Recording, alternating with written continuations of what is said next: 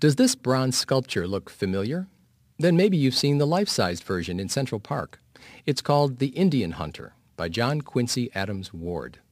He made it in 1866, and it established his reputation as an artist. It was so popular that in 1869 he was commissioned to do a version for the park.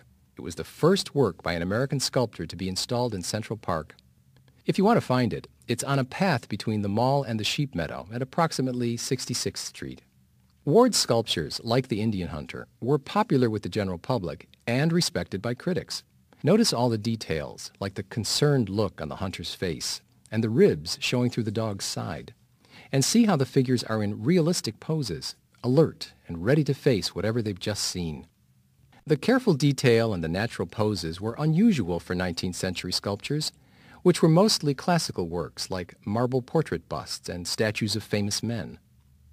Ward showed that you could combine classical composition with realistic details and natural subject matter. He chose an American theme, but he modeled the young Indian's pose after the Borghese warrior, an ancient Greek sculpture in the Louvre. He sold many small reproductions like this one, during his life, he had it cast four times to meet the demand. By the way, you can see other important sculptures by John Quincy Adams Ward in New York City. He did the statue of George Washington that stands in front of Federal Hall. And he designed the frieze of sculptures high above the entrance to the New York Stock Exchange.